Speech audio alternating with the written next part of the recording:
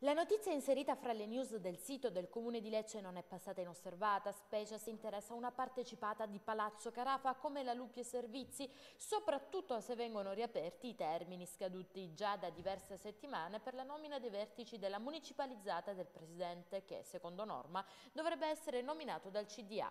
Fatto sta che la partita ora viene riaperta per chiudersi il 30 aprile. Le motivazioni ufficiali sono che, non essendoci donne, potrebbero piovere ricorsi, ma al di là delle dichiarazioni dietro ci sarebbe una partita tutta politica e sembrerebbero da interpretare in questo senso le assenze fra i banchi della maggioranza in Consiglio Comunale. I malumori per la scelta di riaprire i termini in casa PDL ci sono e si vedono, anche perché ora si sparigliano tutte le carte in tavola. Sembra tramontare l'ipotesi Gian Maria Greco, figlio del consigliere Fiorino, che nei giorni scorsi avrebbe avuto un incontro con il sindaco. Perrone gli avrebbe comunicato l'imbarazzo politico di una una nomina per così dire di famiglia. Insomma tutto da rifare? Non proprio. Il primo cittadino potrebbe evitare spaccature, proteste e pretese riconfermando alla guida di Lupie Giuseppe Tamborrino che peraltro ha presentato domanda. Ma questa non è la sola novità a Palazzo, rientra dalla finestra Walter Liaci, consigliere comunale non riconfermato alle ultime amministrative. Il sindaco lo ha nominato senza alcun compenso consulente nel settore polizia municipale.